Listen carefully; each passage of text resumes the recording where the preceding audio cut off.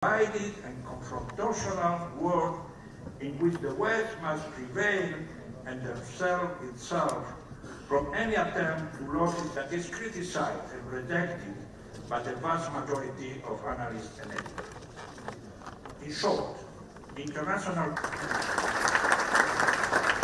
Mr. High Representatives, Excellencies, ladies and gentlemen, and dear friends. It's a pleasure to address you at the ninth Global Forum of the United Nations Alliance of the Civilizations. Let me convey the greetings of my President Erdogan, co-initiator of the Alliance, together with then uh, Prime Minister of Spain, Mr. Zapatero.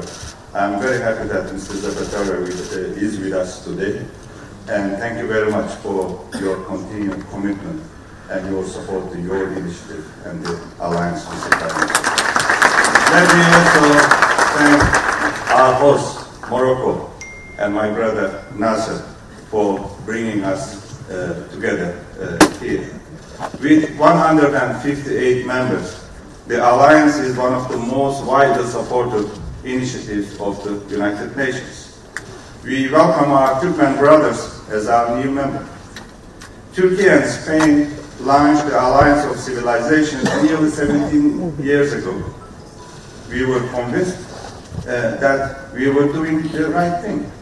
But even we uh, couldn't have known uh, all the time uh, that this was uh, going to be a timeless uh, initiative. 17 years ago, we were in a different world. This may be the age of crisis and even war resulting from non-nation state competition, uh, superpower rivalry, and the major socio-economic upheaval, prejudices, and feelings of disconnect that we were built over generations. But we have to start from somewhere. In the meantime, humanity is confronted uh, with the task uh, to end human suffering United Nations Alliance of Civilization is not just a just good idea. It is a solid plan to work. Its action plan is built on three important lines of work. These are preventive diplomacy, mediation, and preventing and uh, countering violent uh, extremism. Uh, if even one of these pillars fall, there will be human uh, suffering. With the alliance in place, the international community was able to take important steps uh, together. This year, the General Assembly declared March 15, uh, which is the anniversary of uh, Christchurch attacks, uh, as the International Day Against Islamophobia. In 2021, our uh, plan of action uh, to safeguard religious sites was endorsed by the UN General Assembly. And in 2020, High Representative Moratinos, my dear friend Miguel, was designated the first ever UN focal point to monitor anti-Semitism. I applaud uh, these achievements, which give us hope to do more.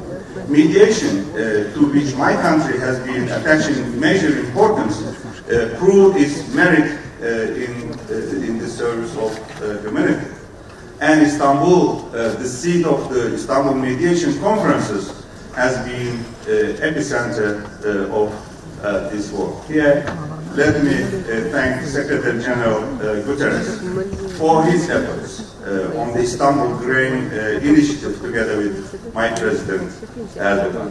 And thanks to the initiative, grain prices went down at the, the historic level and there was a, a global uh, relief. Last week, again, again, together we succeeded in extending the agreement for another uh, four months. Yet challenges remain uh, as the war continues, so we will continue to work closely with the United Nations. Dear colleagues, ladies and gentlemen, to play a greater role, the Alliance needs to have the means and uh, outreach.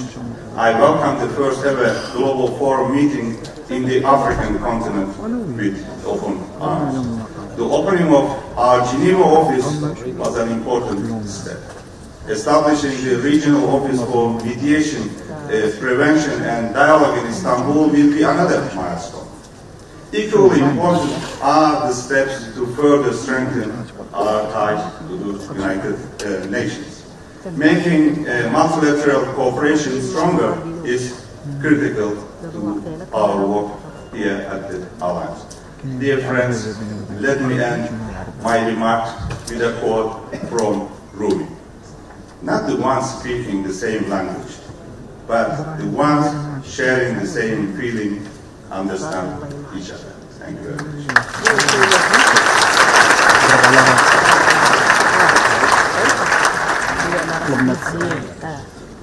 I invite Her Excellency, Ms. Pilar Cancela Rodriguez,